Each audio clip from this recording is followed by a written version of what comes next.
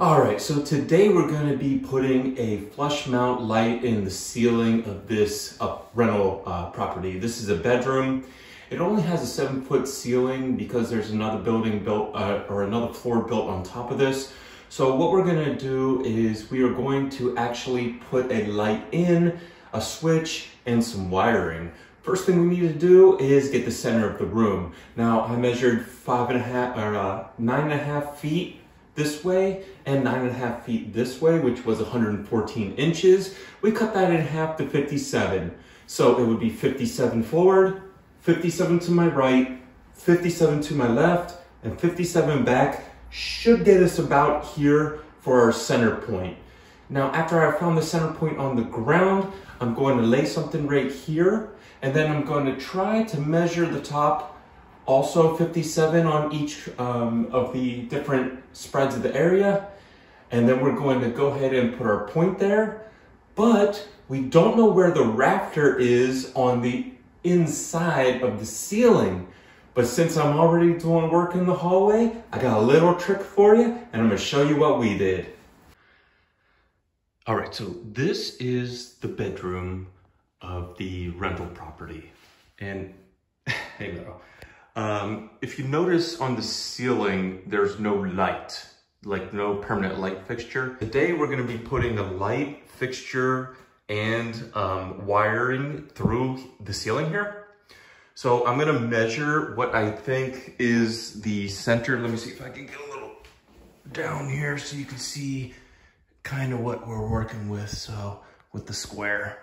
So we're gonna try to, we're gonna go across this way and see how many feet and then across this way, see how many feet, and then meet in the middle. We're gonna put a light fixture there, uh, run it across the wall and then down, and where that switch is, we're gonna put a switch for the light. Now this switch is for like an old school, you turn this on, hey Wolf, you turn this on and it'll ignite a plug and then the lamp post will go on in the room and then you turn it off. And I don't know why they did this because this was part of this building was built in 1980s. So it just doesn't look right to me, but we're gonna go ahead and uh, get into some of this drywall. Now, normally you would have to figure out where you're gonna put it and then usually cut a hole in the drywall. Now, if you're gonna put the light and then run it straight across like this, if your rafters go this way, then usually you only have to cut an in hole here, slide it all the way down, and then figure out where you're gonna put the light on that side. But here, um, what I'm gonna do is I'm going to, I already have an opening on this side. So I had to run a 240 from the main breaker along the ceiling and then down to put an oven in. So since I have this open, I'm going to put the switch next to this one, the double switch here, run it up and open, and then through the hole that's already cut here, however many over, and then slide the wire along the ceiling so we don't have to make any cuts on this side of the, the drywall. Okay, so we were measuring right here, and if we look straight up on this ceiling, there is no ceiling light. But there is a switch over here. Now, in these old school buildings, they used to have a switch. You would turn this on and off, and it would turn a uh, socket on, and you would have a lamp in there.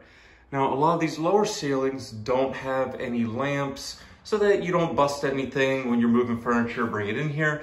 I just don't like that situation, so we are gonna put a lamp here. But here's what a trick I wanted to show you. So since we're redoing this um, room in here, I had to run a 240 line all the way through. You see the bigger line here? All the way through and then down so we can put an oven in, a 240 oven.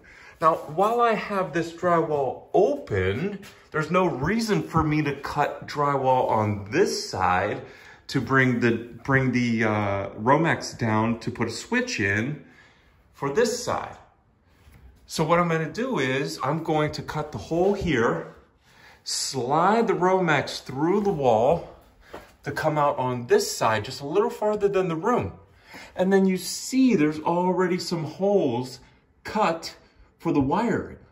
So I'm just gonna slide the Romex through, slide it through again, and then drop it down the wall here. And then on the other side, all I have to do is cut a small uh, hole here and connect it. Now, I just got lucky that I was doing this on the other side. If you um, aren't doing any other projects, you don't have your ceiling cut open, you are gonna have to cut a piece. I would just cut it on this side, um, wherever the rafter is, and drop it down. Now, the only bad thing is if your rafters are going this way, you can run the wire all the way back, but then you have to cut out a piece of drywall to go through the wood to drop down. Unfortunately, uh, for some people, theirs doesn't go this way and they have to cut that whole piece out and go circle, circle, circle, circle, circle, loop the wire through, through, through, through, through, then drop it and then put the drywall back on. So if we were out here and we were going this way, you'd have to cut this long runner of drywall, do all the circles through, but in this situation, we don't. So let's actually get some work done. I'm gonna go ahead and measure on the ceiling where it's at. But here I found a little predicament. So I am gonna show you that the 58, uh, 57, 57, 57 doesn't work because I have to go 53. Now this is why. If I do 57, 57, it's gonna come up to this point right here where there's two um, joists and then like another inside brace joist and there's just not a lot of room. And the 58 would be about right where that white line is right there. And it wouldn't have anything to hold on to. So I'm a little nervous to try to push it through here. So we're gonna go 53 on this side and 60 on the other. So the light's gonna be three inches off, but so it can come through this nice big, I wanna push the wire through this nice big opening and then go through the hole. So I measured from this opening back, which came to 53. 58 was just about here. So I was kind of upset about it, but hey, that's what happens. So let's go ahead and cut some uh, hole in the ceiling in here and start pushing this Romex through.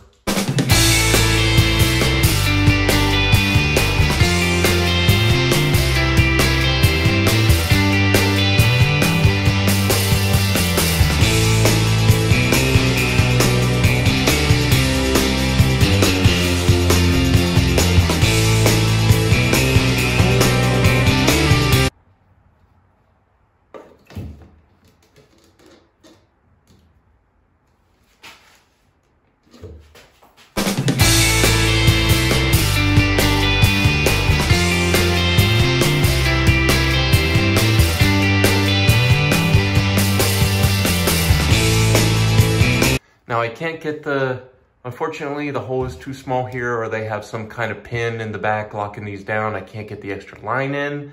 So we're gonna cut a hole right next to this with our drill. And it's just gonna look like this. So we have this hole, three quarters to open up.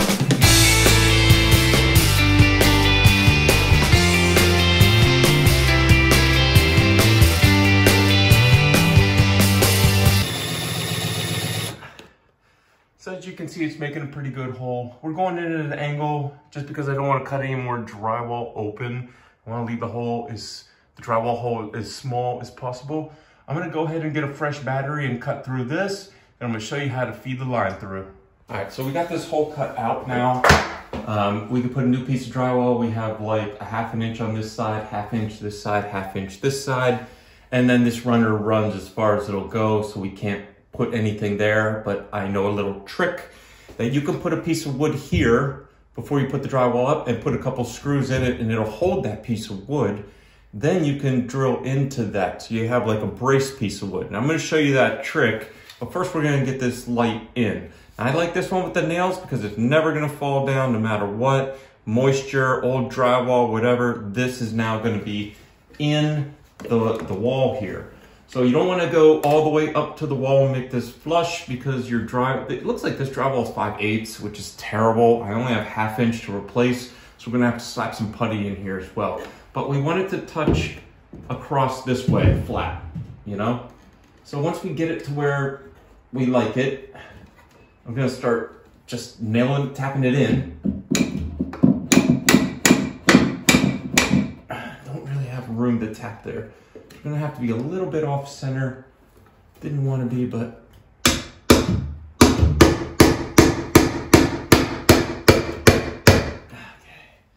And see if we can get this one in. And this has to be flat. Now, normally I would have one of those little bubble pieces to put on here to make sure it's flat, but I can see. Okay, we are off just a little bit. There it is. There it is.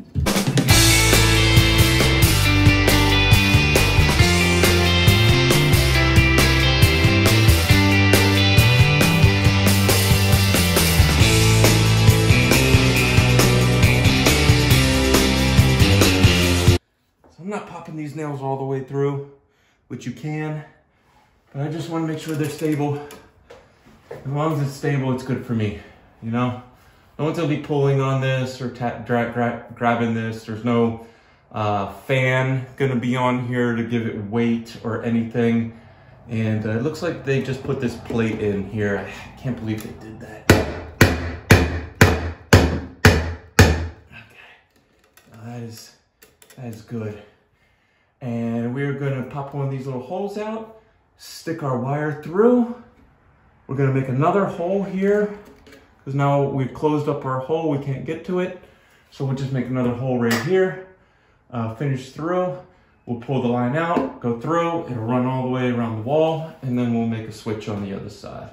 Hopefully everything's gonna go good, but as you can see, things just pop up out of the blue. I mean, how was I supposed to know the one place in this rafter they put this divider wall to hold this electric was gonna be right here? You know, that's the most stupid place to put this because if you're ever gonna put a light, you're gonna put it in the center of the room.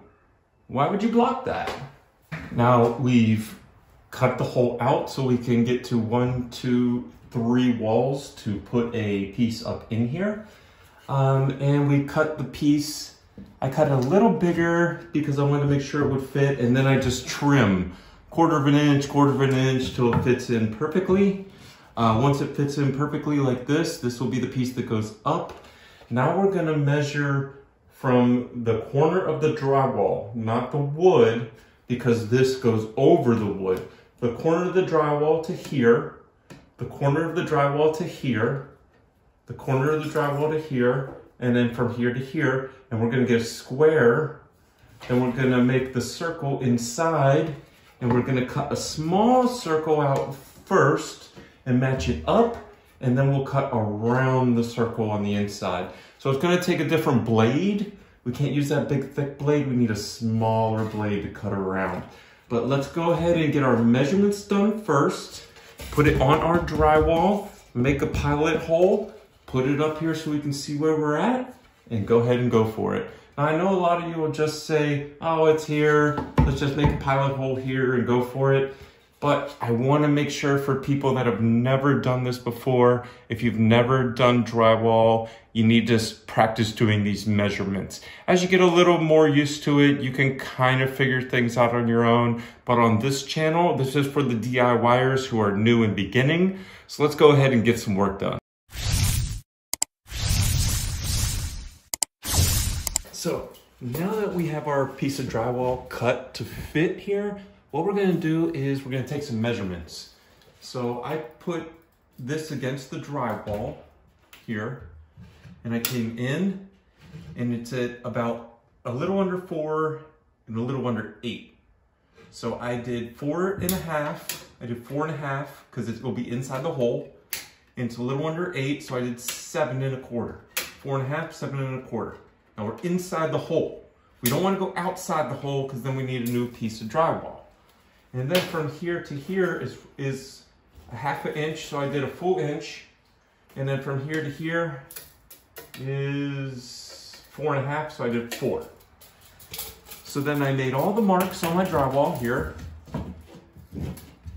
you know, the, the little over, the little under, the half, and the, this, right? So I wanna make sure I'm in the hole. So if we slide back, we should be in this hole completely. Now what I'm gonna do is I'm gonna cut a hole in the circle of this of this square that I made where all the points I connected together, all the points, I made a square. We're gonna make a circle in the square and we're gonna cut that small circle out first. So I'm just gonna make a small circle in there. When I, when I get down, I'll make a little nicer one. We're gonna cut this small circle out, then that circle is gonna be here. Then we could just go along the outside of the trim. Don't try to cut this perfectly your first time because if you cut a half an inch over on one side or the other, now you made a hole and now you need a new piece of drywall. So let's go cut this small hole out and start getting it mocked up for where we need to be. So I made some holes, I made a hole, but I want you to know that I push in. If this is the piece of drywall that's gonna be seen, you never wanna push the piece out because I'm gonna show you why. On the back here, it was still connected a little bit and I didn't know when I pushed it through, but it ripped some of the tape off or some of the paper off. Now, if you rip the paper off the back, who cares? Because it's gonna be hidden up inside there. But if you rip the paper off the top and it rips far, now you ruin the piece of drywall or you have to put spackle and try to fix it and do all that. So if you ever cut a little piece out, remember, always push it through the back because it doesn't matter if you rip the back of the drywall. Now let's kind of mock this up. And we get a little mock up and we're perfectly in the hole right there. Perfectly in the hole. So I would put two screws in here just as a mock up and then get my small blade and cut around this until it's perfect to go up in there. And that's just what we're gonna do.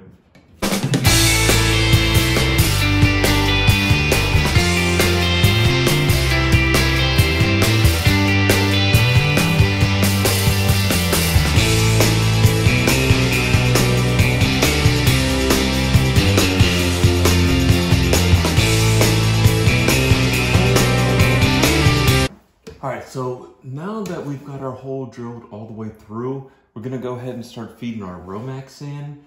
And this was the easiest way since this board was here, instead of feeding it the other way and just making the small circle. Could have never happened because we found out that they put this block in here. So I'm just gonna go ahead and start feeding it through. Try to keep bending it straight.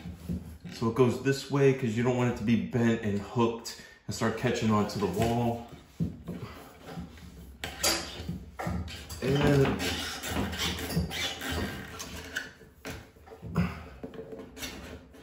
we're hitting something on the other side, so let's go out in the hallway and see what happened. Okay, so now we're gonna keep feeding this through because this side is already cut for the light. So we're gonna be very, very close now to what we need. I need to pull it out the other side. And then we're gonna take a, this Romex and then feed it through the one I, so you have to pop one of these open here. We're gonna stick this wire up through here and pull it down and then we're gonna connect the light right here. And through the wall, through the other side, because we already had it cut, this is the wire that came out. So now we're gonna take this wire and feed it through these big holes here this one and this one through the wall, pull it out, and then we're gonna drip it down the wall here. And then we should only have to cut a little hole here in between the studs and be able to either put a double switch or remove this switch and put a this switch in there or do whatever we wanna do. Right, Meadow? Okay, so now that everything's taken care of here, we just need to put the drywall up and then wire the light in. You would follow this down and then you still have to be able to cut through the, the wood here to be able to drop the line down and put a plug in. So either you're going to have to cut a section of drywall out here between the studs down so you can drill up and grab the line and to put a plug in. But instead, I'm gonna show you a naked wall to make it a little easier for you. Now, on the other side over here, so on the other side here, there's some really nasty wallpaper. It looks like it's from the 80s. And when you tear it off, it just rips the drywall off with it. There's no saving this.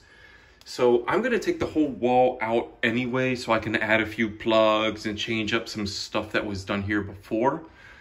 But um, what I would do is, since the wire came from right here, I would just go straight down to where this plug is if I had a plug in the wall already. So I decided since this plug works that socket like for a lamp, um, we're gonna go just above that because I would have to knock all this out and put a double socket here and do everything. But I just grabbed one of these boxes and I went up about two inches and now the I did an outline. So we're gonna cut the drywall on this side and put the plug through so it's flush, well almost flush, and we're gonna nail it in. And then we're gonna take the wire here and wire that into this. And then we're going to take a small piece of uh, wire and wire it down into this from, from the hot, the power going in to our plug. So we're gonna make a jump union here, and then that's gonna go into this.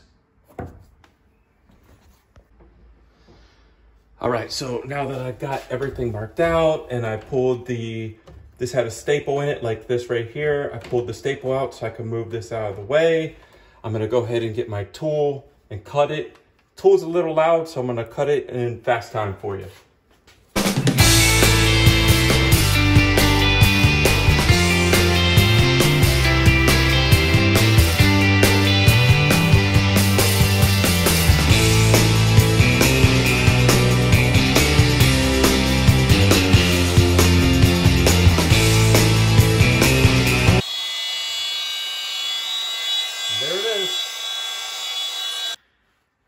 Okay, so since we had the hole there, all I did was kind of push the box in. It's a very snug fit because I just went around. And then you just want to push it in a little bit, not too far. And then come on this side and see about where you're sticking out. So I try to just get a couple of millimeters inside the drywall here. I never try to make it too much because I don't want it to stick out.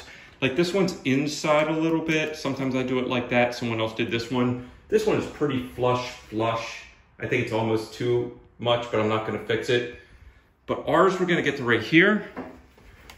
And then it's got these two pin nails. And I'm just gonna hammer those into the wall. And then we're gonna start this electrical work.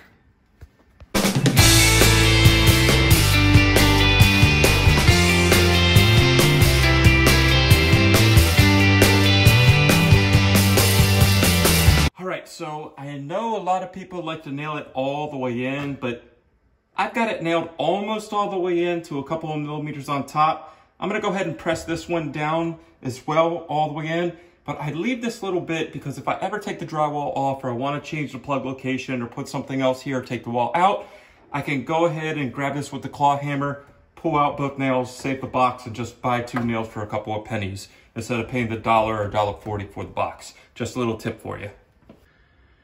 All right, so now I have power in, these wires here, power in, and this goes to the light. I have to put the socket or uh, the switch in. I just have to go buy one. I thought I had one, uh, so we'll do that later. But let's move on to this. Now I put my drywall piece back up that I'm gonna put in and I measured approximately where the uh, gray piece was that is up there, the light holder but I made the hole smaller because if you make it too big and it's off place, then you gotta cut a whole new piece of drywall. So I made it small and then I put a long nail on each end to hold it in place and twisted the wires over. And now I'm just gonna take the tool and cut around it a little more open at a time until it slides right up in and then I'm gonna lock it in. We're gonna do the drywall around it and then we're gonna install the light.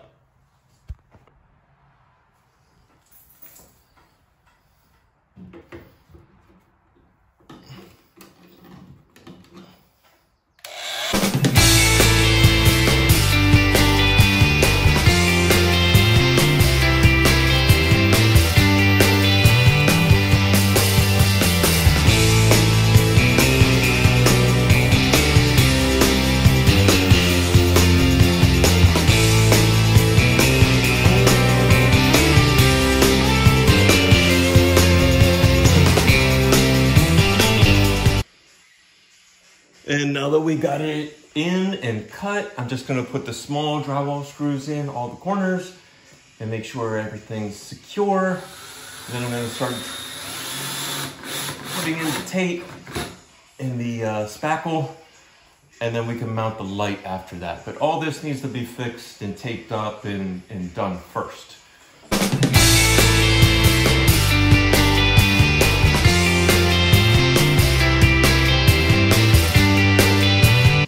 Extra precaution, you don't have to put this many, but you know, I just, I just wanna make sure.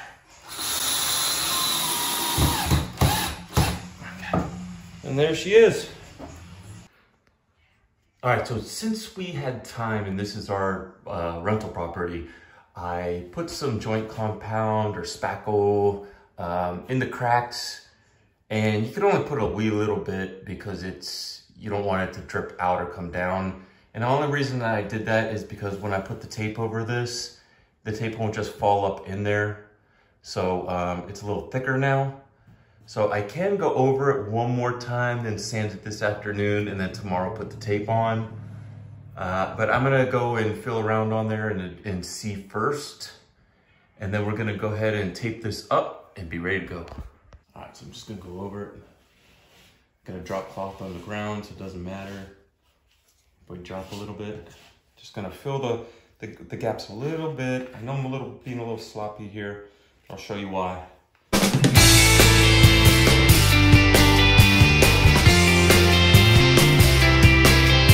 Don't mind my technique. Know, everybody else got their own little technique. I'm gonna take a little piece of our tape and put it on. Now, normally with the paper tape, you have to do what I just did and lay a little bit of stickiness down because the paper tape doesn't self-stick. Uh, and then you have to put this um, on afterward and then put the put the more spackle on it. But this is self-sticking tape uh, that I just put on. It's the newest stuff and it's kind of like go through. So you just stick it to the wall without using any spackle as glue. Uh, then as you push it on, it's pleated, which means it has holes in it. So the drywall will fill in. But I just didn't trust it enough because the gaps were so um, big. And then now I'm just gonna go over it, you know? Man, it's hard to do upside down. I'm always, always messing up here. Upside down. I don't like the upside down. So I just kind of slap some on and get it messy. And then I try to go over it and smooth it out a little bit. Just to cover the tape. I just want to cover the tape. I just want to make sure the tape is on there. I know professional drywallers are going to be like, oh, you don't do it like that. You, you put it on, then you get the other spatula, the spreader, and then you spread it out, and then you do this, do that, and you're done. But I just, I like to do it in stages. It dries faster this way. I got a client next week moving into this apartment. It needs to be done. So I put a wee little bit on like that just to cover everything. It'll dry in like two, three hours. I'll come back in and sand this flat and then I'll get the bigger spackle knife that'll go all the way across, probably four inches. And I'll put one last one on and then all the, do it all the way around. And then that's all we gotta do. Sand it up, hit it with some primer or some, some paint, and then uh, put the light in, and then we're gonna paint the whole room. All right, so I just put the tape on and I just went over it with the little one here and uh, just to get it up there. And now I'm just gonna splat some on around a little more. It's only been like 20 minutes, it's still wet. Um, so I can take this longer one and kind of feather it out. And that way it'll kind of spread more and I won't have to sand and do it again. But since it's on the ceiling, you can't just throw a bunch of this stuff up on there because then it starts to like weigh in different places. I mean, I've seen people do it and it worked. I just, I'm not that guy. not that guy. I'm not trying to make a mess. I just do a little bit at a time. And, uh, whew, man, see? So we're, well, I'm kind of like pasting in a bunch now, you know? I'm pasting a bunch up there. And just, just kind of getting it on there. Decent, not too crazy. And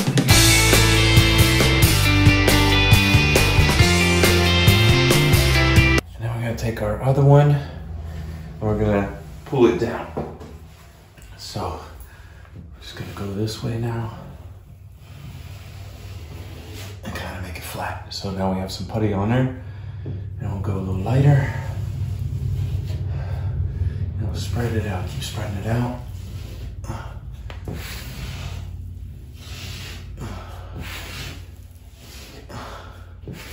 Okay, so now spread it out good, but we can still see our tape through. So I'm gonna try. Think I need to get a little more spackle on there. We're gonna go one more time, do a little more spackle, make it a little thicker. So then once we sand, we'll get a nice buff and feather. And after I get it pretty good, I get the finishing blade, and then I just go over it. Just slide it over.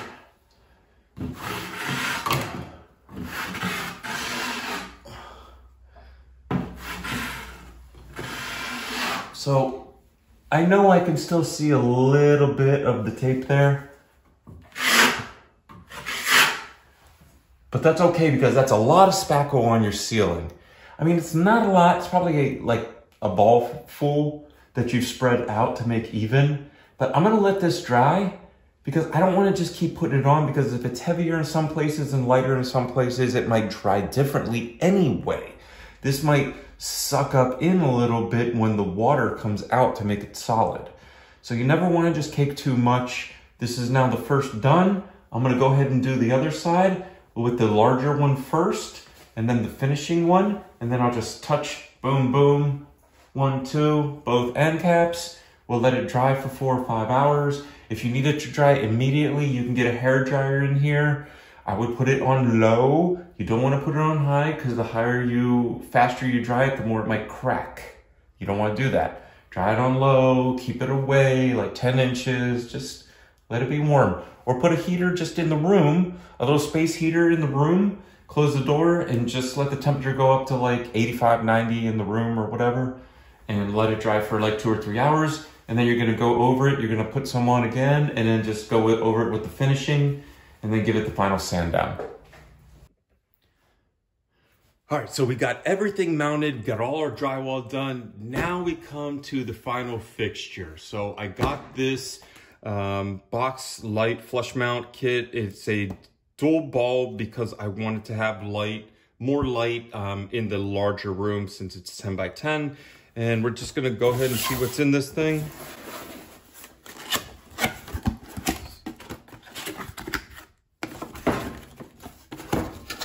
We got some destructions here. And let's see.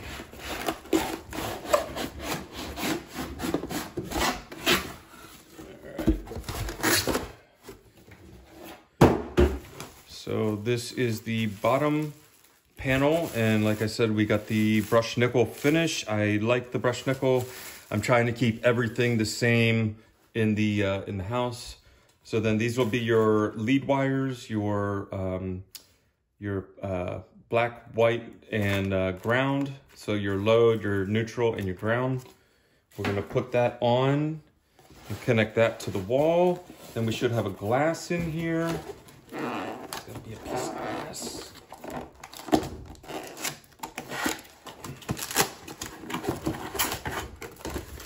Man, we're listening to really good music right now, but I can't play music because YouTube keeps gigging me.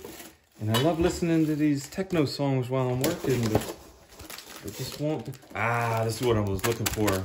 Okay, so here's your accessory kit. So make sure that yours always comes with an accessory kit for the light. Don't throw it out because if we weren't paying attention, we'd have lost it. So then after we put everything up, this will be the glass, the frosted glass, so it doesn't hurt your eyes. And that'll go on the light here, after, after here, after mounting. Then we have our screw piece in here and our little plate and our little knob. Let's get some of this stuff going. All right, so the first thing we're gonna do is we're gonna put this bracket on. And when you put a new cup or whatever hold, light holder, fixture holder in here, it's gonna have two on each side holes that's available to go in. So I would, you have to make sure that the screw head of the ground is facing down. So I have accidentally put it like this and had to unscrew it and put it back. So they gave us two little Phillips heads here. So we're just gonna go ahead and put one in.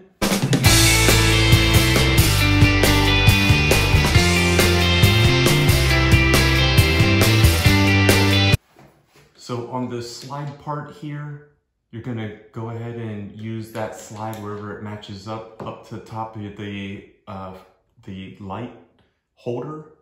So I, I have it in position here, and I'm just gonna put the screw through the slide. So I'll give you a close-up look so you know what I'm doing, but I'm gonna go ahead and put one in and then we'll do the close-up so you can see it compared to the other one. So you're just gonna take your Phillips head,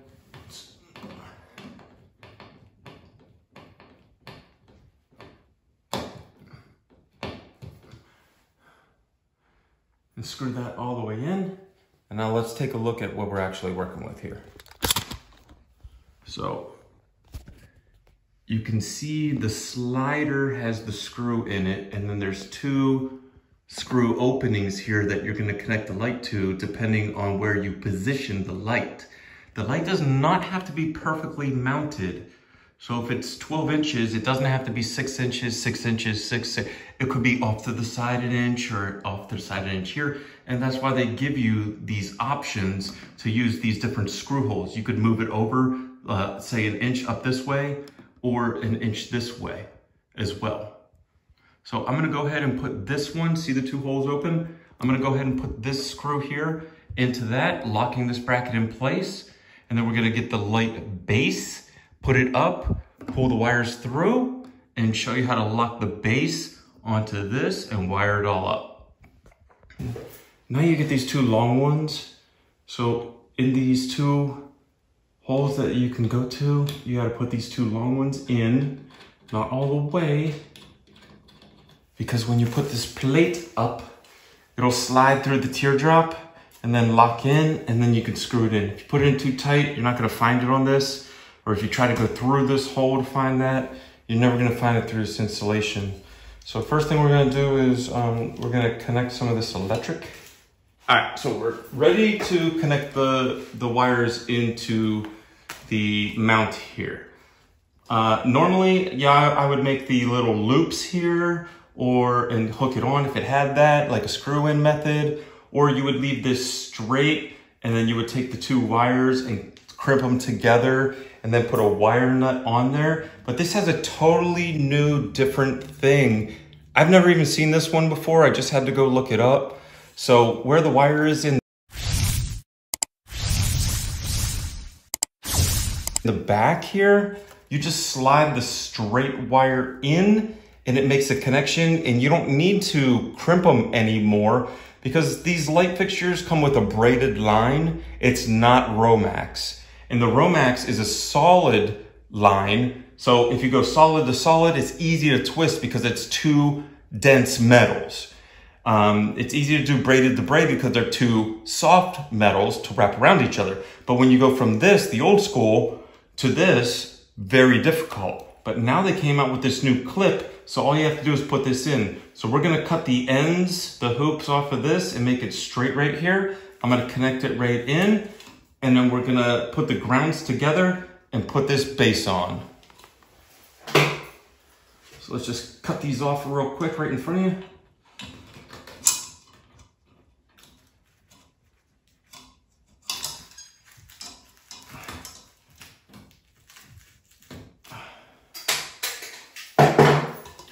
Okay, so now that we cut the end piece off, what we're gonna do is we're going to take this neutral white wire and connect it to the butt connection of the white wire. You never wanna cross your colors. So we'll just push that up in here, in the back. Now I'm, I'm new at this connection too, so bear with me. We're doing this together.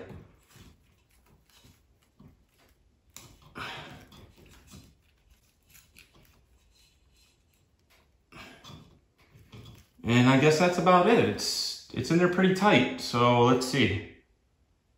All right, so let's cut this black one and get that connected.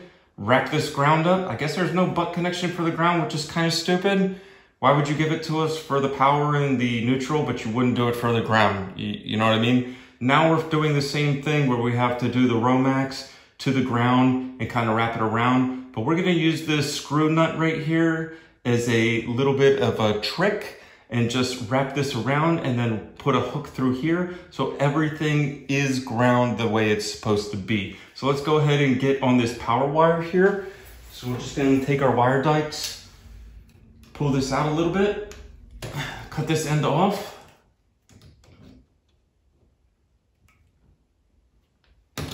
Now we have that straight piece that we need. And then we're gonna take the butt connection. So remember, the white one's already used. We only have one left, so we go black to black. We're gonna get it to the angle that we need it and go ahead and connect that in. And just kind of push it and wiggle it around in there, I guess is the best way. And it makes a lock. So I'm gonna go ahead and say that this is probably the closest thing for electric to what the SharkBite is to the plumbing. And if you've been watching our plumbing um, videos, you see that we've been using a lot of that SharkBite new technology stuff. So it's not permanent. You can take it in and take it out. If you don't like the way this is, then you can squeeze this and release, pull it out, and you don't have to cut any wiring. It's a lot safer, and you can change the light out whenever you want. So I'm gonna go ahead and wrap this around the ground here. I'm gonna go ahead and screw it onto this piece and then start aiming this light up. When I get the base on, I'm gonna come back and show you how to put this middle section in and measure that so that you can get the glass on perfectly without breaking it. And we'll be right back. So as you can see here, I now have the ground easy braided wire wrapped all around this little makeshift hook that I made. I'm gonna unscrew this ground and hook that on so it connects both.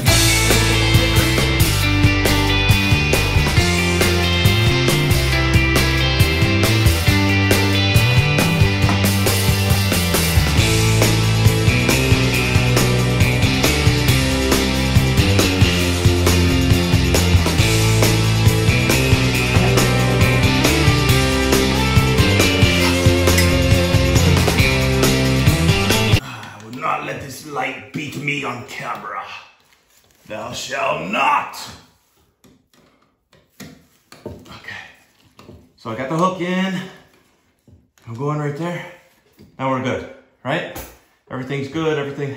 Oh, this one came Everything's good, everything's connected. Everything's in. Okay. All right, now we gotta try to find these two screws underneath the base here which is always a fun game. So at this time, you should probably go take a break and have one of your buddies play with this thing like a Rubik's Cube for like 20 minutes.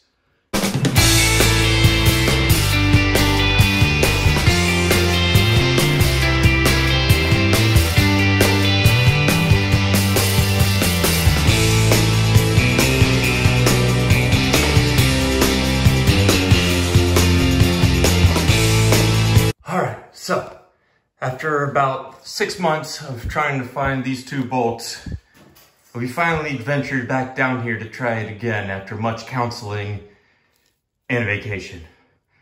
But no, seriously, uh, those are like the hardest things to find through the insulation and all the stuff. So now that I have them and I pushed it over, I'm gonna tighten them up enough, but you don't want this to bend. You just want this, just want this to be tight. See how it moves? Just tight. So kind of hold it in place and tighten it so it doesn't fall out.